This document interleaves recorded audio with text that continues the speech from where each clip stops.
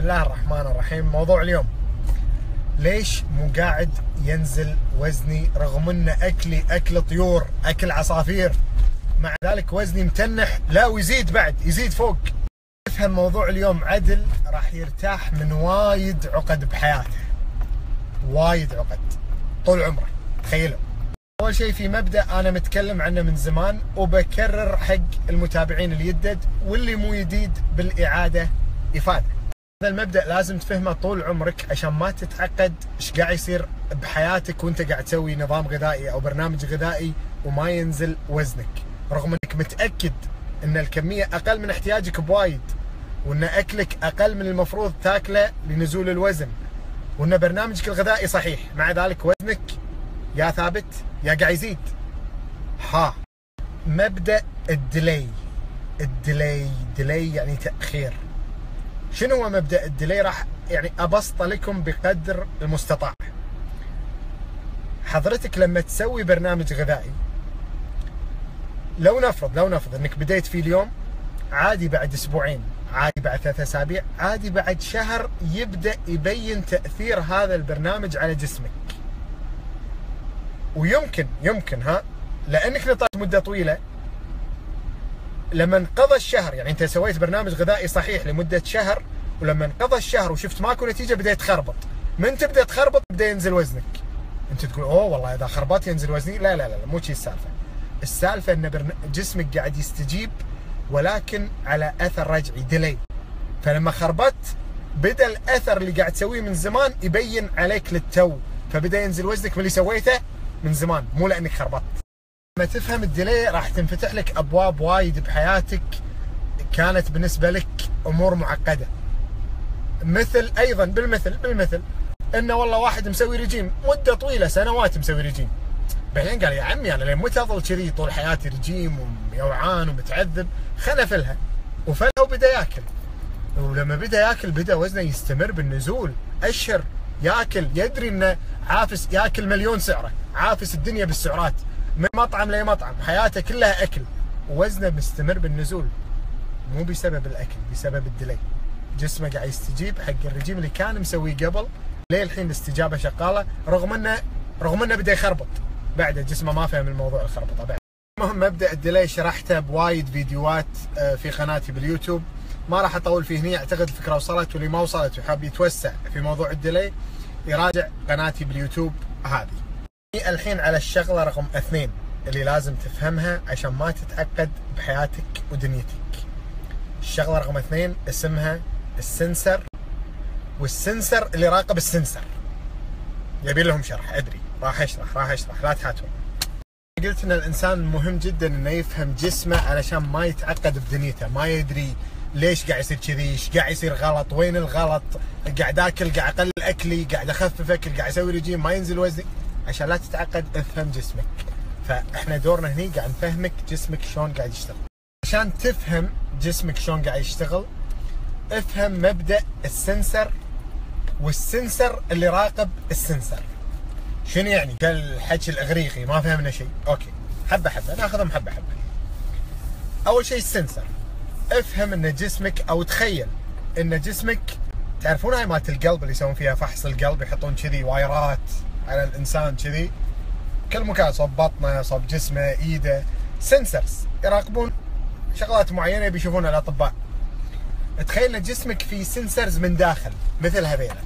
شنو دور هال sensors يقولوا لك هال sensor والله شبعت. sensor يقول لك إنك شبعت. والله أنت يوعان. sensor يقول لك إنك يوعان. هذا ال sensor واضح؟ sensor شيء يقول لك إنك يعت متى ما يعت. وشيء يقول لك إنك شبعت متى ما شبعت.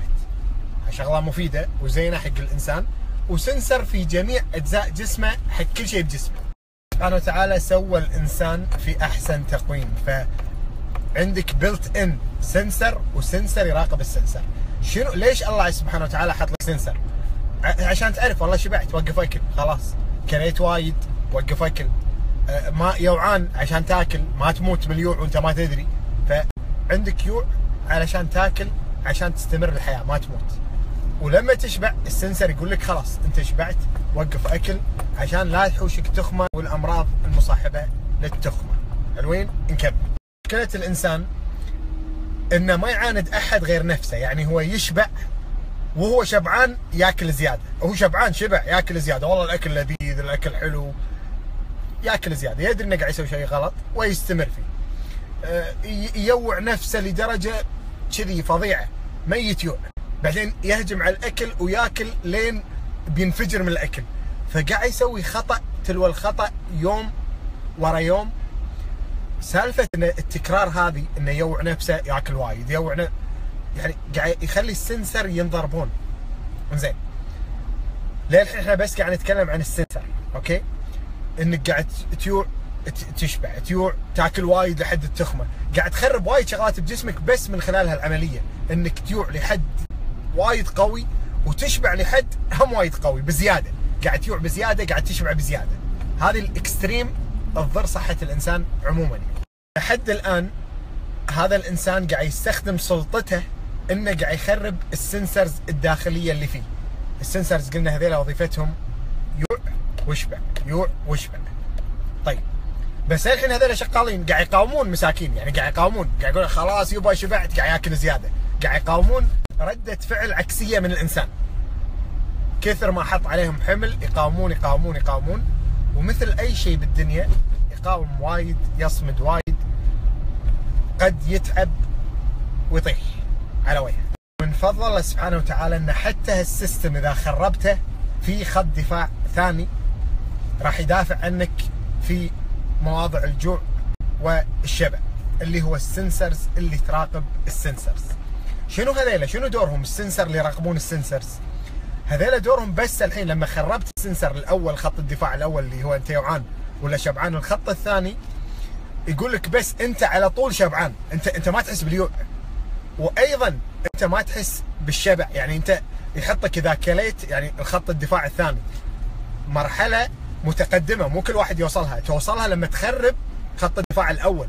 يعني أنت الحين تخيل نفسك هل أنت خربت خط الدفاع الأول ولا لا؟ خط الدفاع الأول يوع وشبع. إذا خربت تدش على مرحلة ثانية إن أنت طول الوقت شبعان. ما تدري إيش فيك. أنا مو يوعان. مع انه في سمنة بس مو يوعان. أو أو العكس كله يوعان. ياكل هم يوعان. ما خلاص.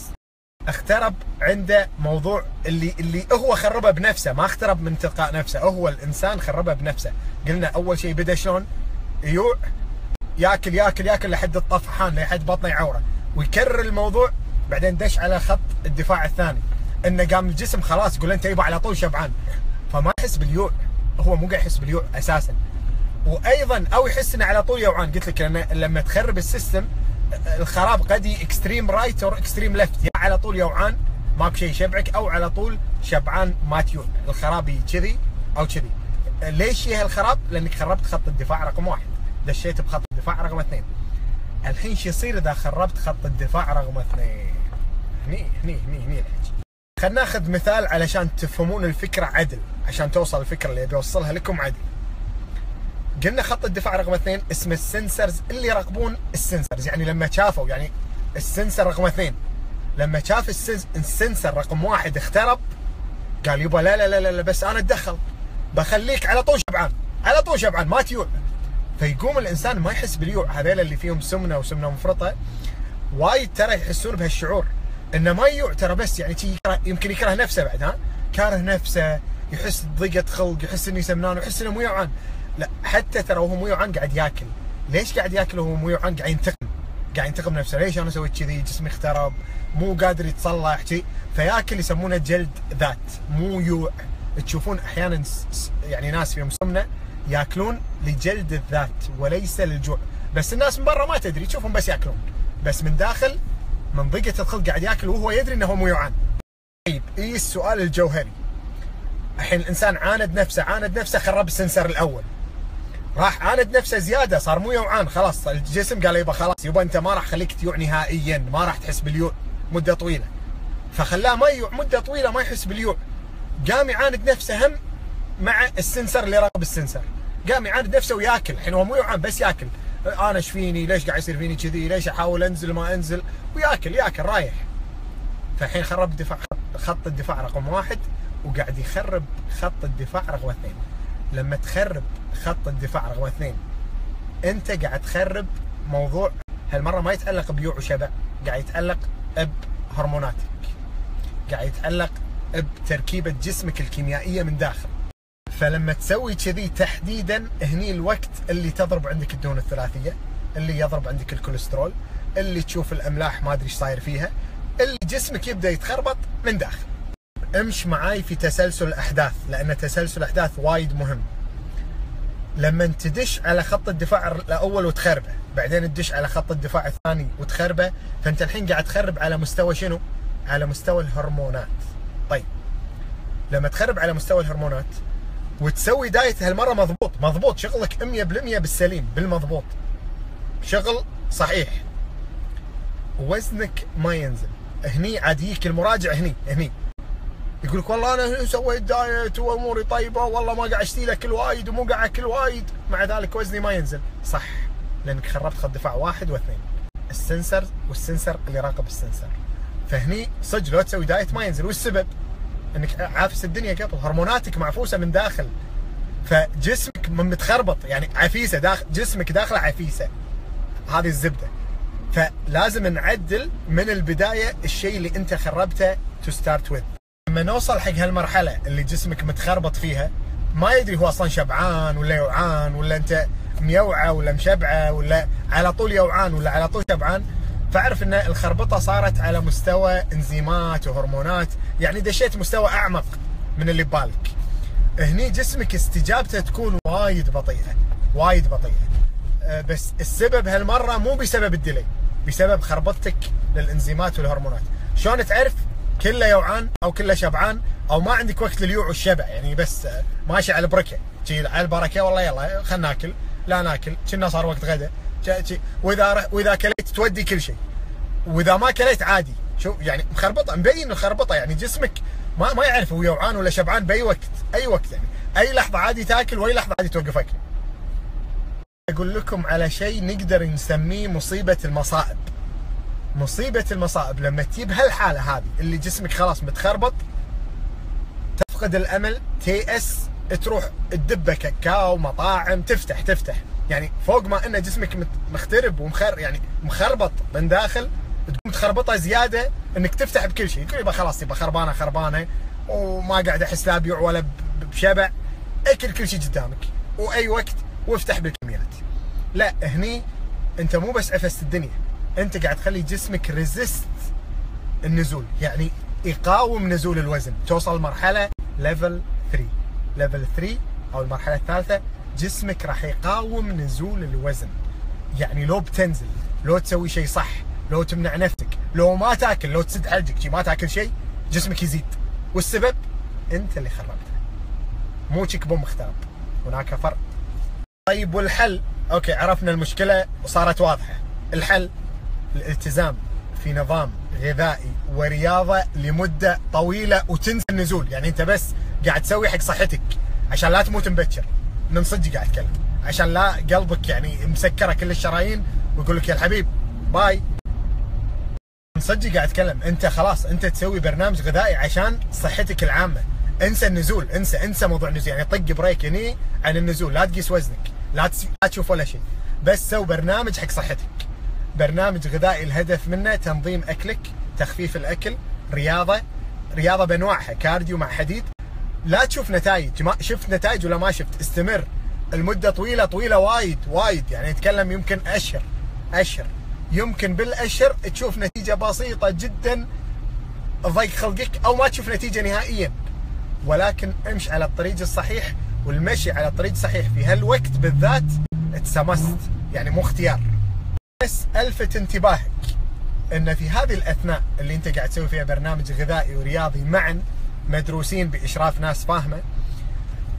أنت بصورة بطيئة جدا قاعد تعدل بجسمك. بطيئة جدا لا تكاد تبين أو تذكر. ولكن مع مرور الوقت اي راح يرجع جسمك مثل ما كان. مع مرور وقت كبير عشان شيء أقول لك انسى سالفة إنه طالع وزنك إنه توزن إنك تستانس ان جسمك قاعد يتعدل لأن السالفة وايد مطول يعني مطولين. فطول بالك استمر في برنامج غذائي ورياضي صحيح والهدف خلى صحتك العامه بس ماكو هدف ثاني. متى ما ينزل الوزن متى ما تعدل جسمك حياه الله. متى ما صار أشهر ستة أشهر أربعة أشهر ثلاثة أشهر شهرين اللي هو.